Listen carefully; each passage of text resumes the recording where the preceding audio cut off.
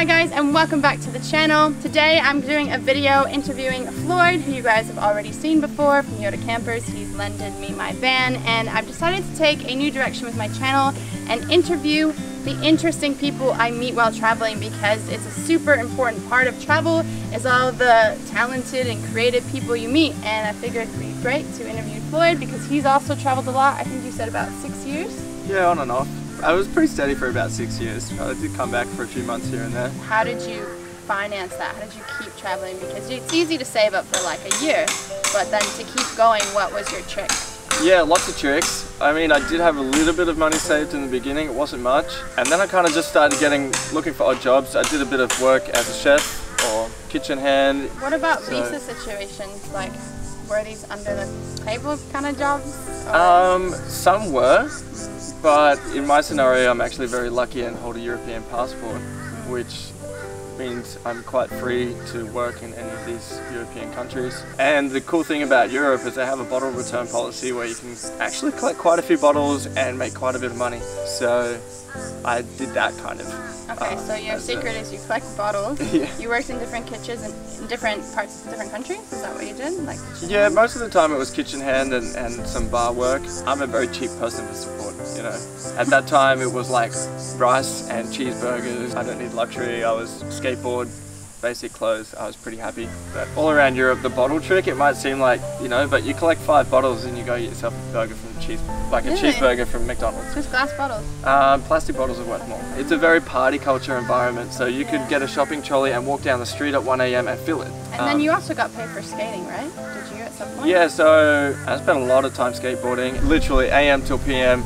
Uh, just finding new spots, meeting new people, and at some point, a Taiwanese lady approached me. She said she was going to send me a skateboard and give me details. I'm like, well, this is weird, but here's my details. Yeah. And a few weeks later, there was a board in the mail. So that kind of st uh, started off my, I guess you could call it a sponsorship. It wasn't a lot of money, but it enabled my travel. I guess you do what you can to stay on the road, so yeah. Yeah, everyone has a different journey and everyone can make money a different way, but for the main part, if you're passionate enough about what you're doing and traveling, money won't be an issue because your subconscious, your mind, your being is powerful enough to figure it out. You might do it tough for a while, but the drive that a human has to just keep going and keep figuring things out is that's enough. You know, a lot of people might look at my situation, oh, you're so lucky and this, that, and like, I think luck's not really a word in the dictionary. I think you're given luck by the energy you give to others and how yeah. you go about your life, your interactions with other humans, and opportunities will present themselves. Yeah. You help others in times of need and help, somebody will come along and help yeah. you. So, right now we're actually sitting at your commune, and I know you've expressed to me that was actually one of the reasons when you were traveling. Uh, there was kind of a reason why you started this place. Do you want to share? Or maybe explain yeah. more about what this place is. Like I can try and explain a little bit about that. Sure, why not? After about six years of traveling, all around the world. I feel like some of my greatest experiences have been in these kind of commune or like experimental living situations where you've got a big share house or a block of property. Um, anyway, so like the culture of this build stuff, do it yourself, thrive in a kind of community that supports each other, whether it's dumpster diving, growing your own food, or just joining forces on some kind of creative art project. All of that was just such a big influence in my travels. And then I came back to Australia and I thought, where's the communes? Where's the people at? Where's the live music and the jams and like this creative hippie culture? I tried to find it and I really struggled with that. Like they say classically, if you can't find it, build it. Here we are four years later. I wouldn't say it's 100% built, building, it never ends, but we've built kind of a community place that is 100% off-grid. We've got our own septic system, hot water from gas and solar, wind and battery bank and solar panels. It's all 100% off-grid. We're lucky enough to have a small lake on the property which feeds us with water for the gardens and flushing the toilet. And we've also built a few composting toilets on site. So the main goal and aim there was to build a place that can support life in a really comfortable and sustainable way in off-grid means. We're still in the middle of society, shops and all the main necessities aren't too far away, but we're still able to support our power needs and have enough land to experiment with growing our own food. And I have to say that's probably the most amazing thing ever. Hmm. Like the whole town will lose power street lights are off, whatever, somebody hit a power pole, or a storm knocked everything flat, we don't even notice. When those kind of things happen, you realize like it is so good to be self-sufficient, to take care of yourself, the environment around you that take care of you, and walking into the garden to pick a few pumpkins and some beans and, and chilies and whatever it is and make a big pot and then share that with the people around you is like, it's a powerful thing. It's like a return of energy. When you start traveling solo, you realize how important it is. You're in a new country, you're by yourself. Where do I meet people? How do I meet people? Where's the cool shit? What am I doing? Building a place like this, it's like giving back to exactly that, where people can come here, they can meet myself, they can meet other people at the commune, immediately they've got like 20 doorways open of possibilities of go here, do that. And for me, I understand how hard that is or what it feels like to be in a new country and not know who your friends are or, you know, where to take myself. So where to start? Where to start and having a place like this, a little community base, can really help people. So I had a few different names for this place, Profound Town, all this, yeah. And anyway, at the end of the day, people convinced me that I should name it after myself. Um, and my name is Floyd Town. So not only is it called Floyd Town because my name's Floyd, but Town is actually my last name. Oh, really? Yeah. I thought it was something else. Yeah, so... Because it is like a little town. yeah, somehow maybe I was kind of destined to do this.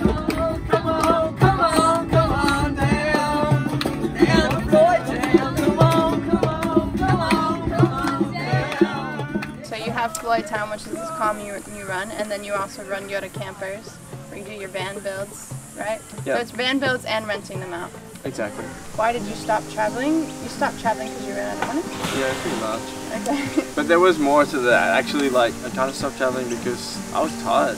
Traveling's fun, and it's great, and everyone sees kind of your social media posts of how fucking brilliant everything is. But, like, people don't see the downsides. Mm-hmm. Yeah. You know, people share positivity on social media, and they're just snippets of you having the best time. Yeah. But in around that, there's a lot of dark stuff. Yeah. There's you getting robbed. Yeah. there's you losing your money. There's yeah. you running for your life. There's you in a car accident. There's you missing planes and getting tickets messed up and costing you a lot of money. The whole experience was great, but after six years or so of traveling, like my body was worn out. My mind was exhausted. I was sick of carrying a heavy backpack everywhere. You get to this point where you're not excited to be at the next hostel and you're not ready to like, woo, adventure, your friends thing too. Like, sick of not having a solid friend that's just there. Yeah. Having to, oh, I'm alone. Like, now I gotta have enough energy in me to speak a weird language or whatever to try and make another friend and then feel comfortable around that new friend that they got my back and we trust each other and everything's cool and that's hard. So. I'm so happy you're talking about this because this is yeah. this has been my like issue. I'm like, do I want to stop traveling? But then again, I don't, and like that's kind of why I take so long everywhere I go because and I don't even go see all the sites. Like I've been here in Sunny Coast for three and a half months.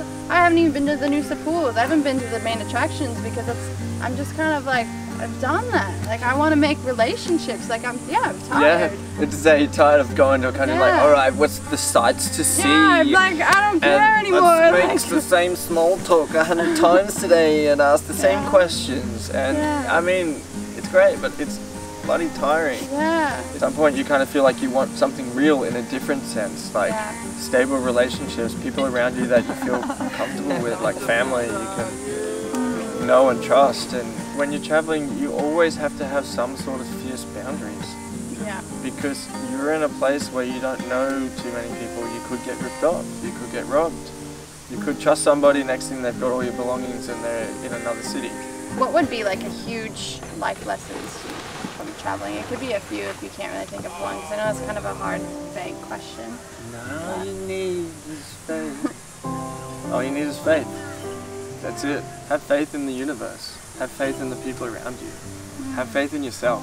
I know when you're down and low, it's not so easy, but there are the times when you really just have to trust yourself. If you do good things for the people around you, if you do good things for the planet, and you take care of what you can, you're going to be rewarded with the planet and the universe doing good things for you. For me, that's the one thing that's kept me going whether it's traveling solo, whether it's in my own business ventures, relationships, like whatever it is, just like have faith that the universe is pointing you in the right direction. It will continue to do so if you do the right thing by it. I think a big thing just have faith in yourself. Yeah. Have faith that you can do it. I've kind of come to this realization that every decision I make is a great decision, which is a very ambiguous thing to say, but because they could be really bad decisions. But I don't actually believe there's ever really a bad decision because if you do make a mistake, it you learn something from it and you grow and it maybe pushes you another way. So in a way, everything you do is a great decision. If you have faith in it. Yeah. I mean, this is classic thing of like, how do I move forward? How do this? Like, go out and just make a whole bunch of mistakes. Yeah. Because you'll learn from that, and there you go. Like how people ask, how did you learn to build campers? How did you learn to build a community? Where how I didn't know I'd never built a van before. Things are not going well. Why? Why am I having a bad time? Why don't I have any money? Why did that fall? You know, like why did I crash my car or whatever it is? My reflection is, what am I doing wrong to others? What am I doing wrong to the planet or the people around me? What What's some advice that you would have for somebody traveling? maybe a tip about like ah finding friends or? No this is my tip. I wouldn't plan anything. Seriously, I, yes. I'm serious. Yeah. don't plan anything yeah. because in the very beginning i used to plan and everything never went to according to plan. And you build up all these expectations in your mind and then you get frustrated because it's not going to your plan or you you put I want to jet ski I want to go on boat I want to do all these and then you're tired and you're like why am I not enjoying my travels because I'm freaking exhausted you know yeah and you're and, like stressed out trying yeah. to follow this plan that you set yeah. and then if things aren't going to plan you're frustrated or annoyed that yeah. they're not and you're not having a good time no and if you just don't plan anything I mean I'm a little bit on the extreme side you might be the same like I have, I don't plan anything even the day of so I don't even know where I'm gonna sleep because I like it that way because I don't know who I'm gonna meet. You know, I met somebody recently at a festival and then I got invited to go sailing to Fraser Island for a week. Making solid plans and forcing yourself to stick to them yeah. creates extra pressure that's not needed, but it also blocks you from other opportunities that might yeah. have arisen and you'll say no to those opportunities because you're it's trying to stick to, to your, your, plan. plan. Yeah. Um, I think it's good to have ideas. I always have a little bit of an idea in my head. I'd like to do that. I think I'd like to go north. I think I'd like to see this place. But if it doesn't align, I'm, I'm open to new possibilities and, and also don't rush. Yeah, I resonate with that a lot, you know, because you're out there to travel and meet, you know, life. It's this journey where you're trying to enjoy it. Yeah. And if you're creating like added stress and must do this, must do that in X amount of time and thing, then like, yeah. how much fun are you really having? Because yeah. you're just stressing trying to get one place to next on a time constraint to this to see that to grab a picture to what? Because you need to share it with your friends to make you feel good about mm. that you've been, you know, it's like that's not helpful to self. Like sometimes you just need to stay in bed all day and watch Netflix because you're tired. But if you had a plan and an expectation that you had to go do all this, you're not going to fully enjoy it and you're going to be unhappy when really all you wanted to do was do nothing. It's okay. That's what people need. It's okay. It's your journey. It's your life. And don't be so yeah. hard on yourself because as you're saying, just have faith. You're not always going to do things the right way. You are going to make mistakes. I make mistakes all the time. And even on my channel, like people call me out for it. And honestly, you're right. Yeah, I, I do a lot of dumb shit, to be honest, you know, and, and I'm probably to do that my entire life. And that's fine. That's because I'm human and the whole idea is that I learn from it, or maybe I don't learn from it. May have to do it multiple times to make that mistake, you know? Like, you know how many times I've had dairy when I'm lactose intolerant? Thanks for hearing out our insight and giving us a few minutes to see what our lives have been about and how that may impact yours. Poppy is such an amazing person and I'm really glad to have met her. Open Likewise. book, smiling character, just giving energy of whatever her experiences have been and I'm sure she'll reply to your comments. If uh, you're interested in any of the things that I've talked about, whether it's businesses or mindset or life goals or whatever it is, like send me a message, make a connection. Come to Floyd Town if you're yeah. in the area. Come and visit. Yeah. If you're in Australia, if you're in Brisbane. And if you want a van build, I'm definitely, when I buy another van, I'm coming to you and we're going to build the van. I'll help you build the van. So you might see that as well. And yeah, maybe we'll make some more videos in the future. And as always, you own the adventure. it's backwards though, because it's mirrored, right? Well then, I don't know. No, it has to be see-through, so because it's mirrored, right? I don't know. No, it's not. Okay, let's end it on that. Vem mais uma vez, veja que é como dançar. Se entregue de uma vez, na dança se deixa levar.